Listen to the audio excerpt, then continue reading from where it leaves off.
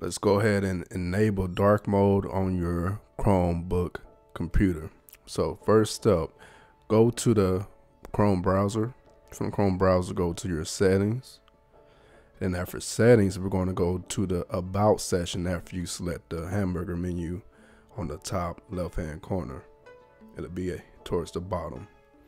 After that, we'll select the detail build information option and then select change channel. And from here, we have to select the beta option because at the moment of, the, of this recording, the dark mode is only in the beta option. After you select the beta option, it'll take a moment for the installation part to kick in. But if you don't see it right away and you close out, out of the window, just go through the same steps we just did, go back to the settings, and then you should see the process. So once it's finished installing, it'll ask us to restart the computer.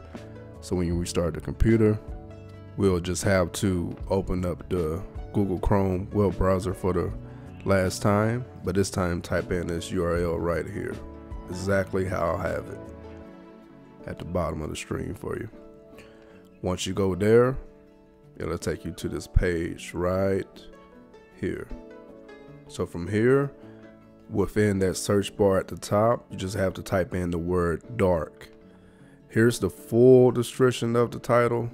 So that option right there, we have to enable.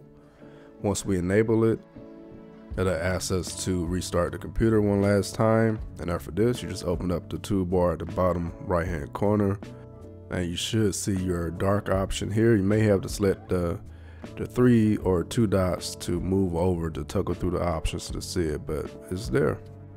But I hope you found this helpful. That's all I got for you. Much love to each and every one of you. I'm your downloading pirate, and I'm out.